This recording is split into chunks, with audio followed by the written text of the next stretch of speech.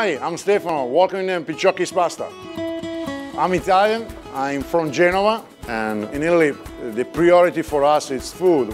When I was younger and I was a kid, the first thing was what I had to prepare for you today, which means I have a lot of experience, but food in general for me is really, really important.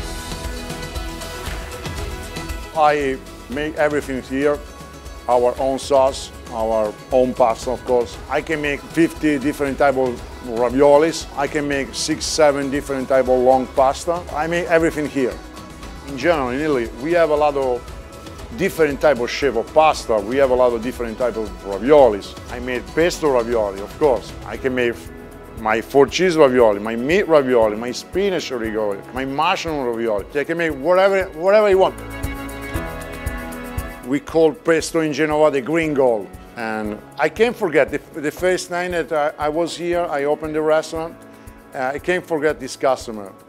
She asked me, what is that, this green stuff? And I said, what? And I said, the green stuff it calls pesto. And for us, pesto, it's everything. But now, she's, most of the time, she's buy only pesto. That's why I'm really ex excited and also proud of myself. A lot of time I say live in dream because every time we have to live our dream. So for me here, to be here, it's like a dream.